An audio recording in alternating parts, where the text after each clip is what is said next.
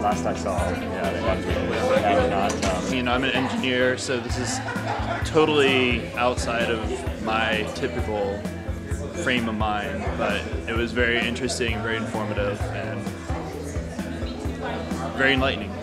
This is what made me join this the club, event. this event, because I was like, oh, yeah, I said 64 bucks, but if I join, then I will, you know, the, so that's why I. Everything that's why I joined. That's awesome. Yeah, I came because I'm currently working in the uh, sustainability space and doing research and development for biofuels, and I really wanted to get a larger perspective as to how my work would play into the context of the issues um, globally. Um, and I also wanted to meet with some fellow alumni to see what collaborations we could have in our work where you combine biofuels with transportation and really bridge the research that we're doing in industry to the consumer.